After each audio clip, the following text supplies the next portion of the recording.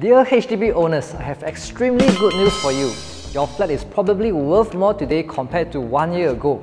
If you don't already know, HDB prices have increased 8.1% year on year compared to quarter 1 2020. In fact, based on my observation, more and more HDB resale flat buyers are willing to pay for cash over valuation, meaning they are willing to fork out extra cash to buy your flat above market value.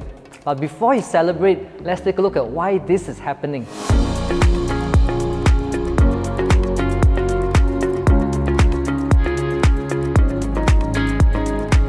One reason to the buoyant resale market is due to the long waiting time and uncertainty in securing a BTO flat.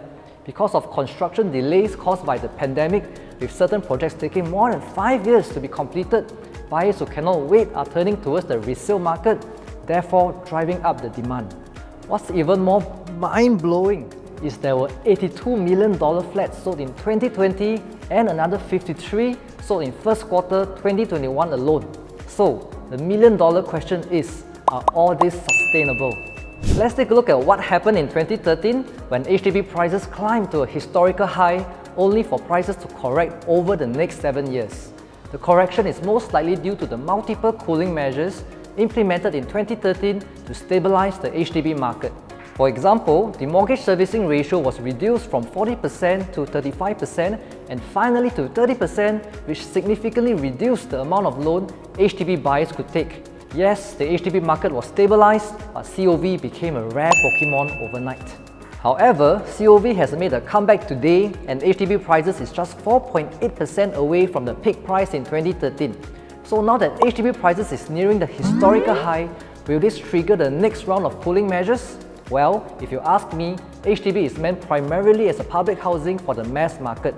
Therefore, prices should be kept affordable instead of going up indefinitely. Another reason that contributed to the prolonged downward trend from 2013 to 2020 is due to the public being more aware of what will happen to HDB flats at the end of their 99-year leases. The government has advised that HDB flats must be returned to the state after their leases run out. Inevitably, HDB flats might depreciate over time as their remaining lease gets shorter and shorter. This is something fundamental which hasn't changed. So dear HDB owners, yes, you can celebrate the increase in your flat's value, but consider whether the current market presents a window of opportunity for you to cash out from your flat at a good price before it's too late.